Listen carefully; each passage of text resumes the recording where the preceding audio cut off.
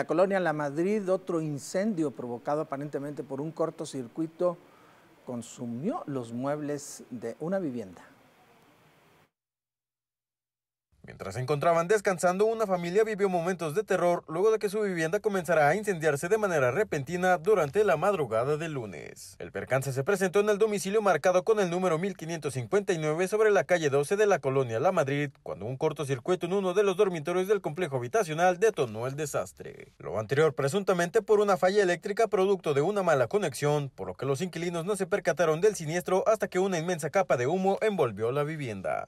Una vez enterado de la situación, el propietario se dirigió al origen de las llamas y con un extintor sofocó parte de las mismas, mientras sus familiares solicitaban apoyo a los cuerpos de emergencia. Al lugar acudieron elementos del cuerpo de bomberos quienes realizaron las maniobras pertinentes para evitar que se reactivara el incendio y eliminar cualquier riesgo del mismo que por fortuna solo arrojó pérdidas materiales.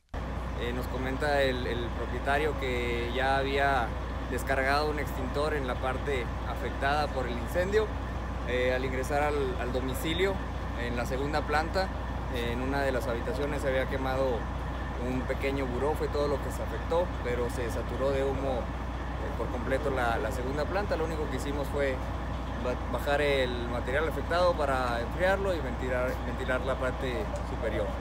Con imágenes e información de Ulises Juárez, Telezócalo Noticias.